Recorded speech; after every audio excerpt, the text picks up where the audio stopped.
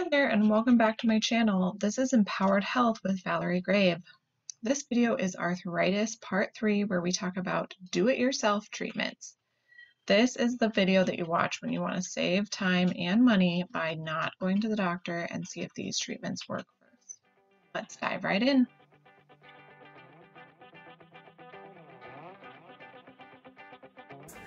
All right, so let's dive into it. So the first DIY treatment, do it yourself treatment is going to be movement.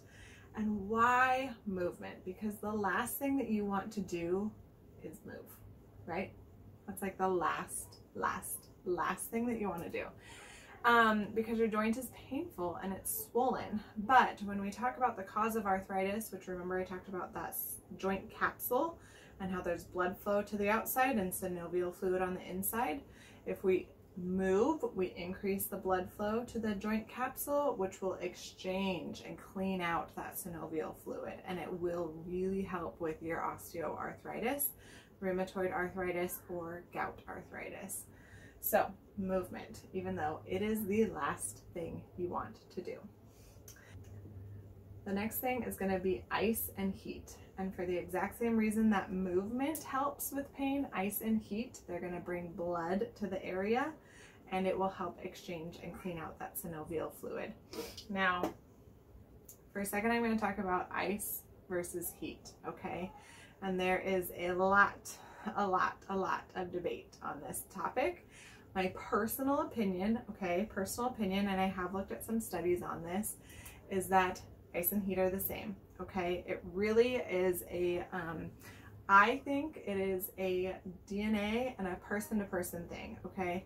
Personally, heat helps all of my pain better than ice does, but some people say that heat makes things way worse, okay? And so I personally think that everybody is different and everybody reacts differently to different things. There are gonna be people out there that you find that say ice this and heat this ice this type of thing and heat this type of thing.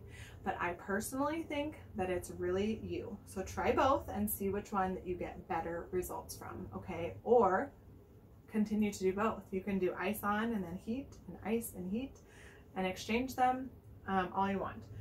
Typically though, when we talk about ice and heat, we wanna do 20 minutes on, one hour off, okay? Whatever it is. Um, all right, I'm gonna erase that because that is just distracting. All right. The next thing that I did put into the DIY treatments is physical therapy. And the reason I did that is A, most physical therapy offices do not require a prescription to go. Um, there are some that will let you say, I have pain in my knee and I'm pretty sure it's osteoarthritis. Can you please um, do some physical therapy on it? Um, but if you are struggling to find that, the other thing I want you to do is actually do YouTube videos on different physical therapy for your knee. Most often, for example, knee pain, um, if you YouTube it, it's going to tell you to strengthen your quads, okay? Those are those right there. Um, if you've got hip pain, they're going to tell you to stretch your hip flexors. Um, if you've got uh, shoulder pain, then you need to stretch out this part. So they the joints follow a typical pattern and there are people out there just like me in the physical therapy world that will tell you what you should do um, to make it feel better. So that's why I put physical therapy in the DIY. The last treatment, DIY treatment for arthritis is weight loss. And I don't want anybody to take um, offense to this. I don't want anybody to say, you know, kind of like turn me off and say, you know, everybody says weight loss. Um, everybody can stand to lose some weight and myself included. Um, I shouldn't say everybody, but most people can. And arthritis is most often found in the weight bearing joints. So if we reduce the load on the joint, that really will help. I have other videos that talk about weight loss and diet. And so go and watch those. Um, I will link them down below or you can find them on my Teachable page. Um, so I'm not going to go into how to lose weight, but I will say that weight loss will help.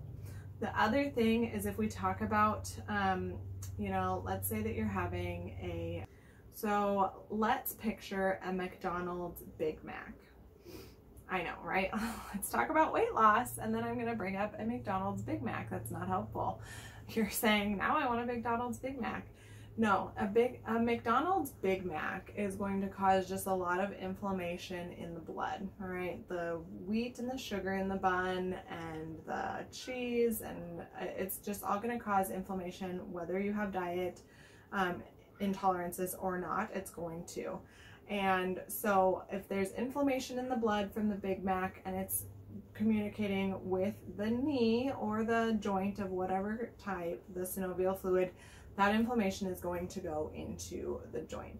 And so in my diet uh, plans, then I do talk about anti-inflammatory plans. So that might be one that might be good for you because if we reduce the inflammation in the blood, we're going to reduce the inflammation that's in the joints.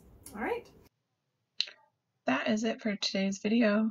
Thanks for sticking around. And remember, if you want the entire arthritis course, you can check out my Teachable page, which is linked below. And click the subscribe button if you want more videos like this. Thanks and have a great day.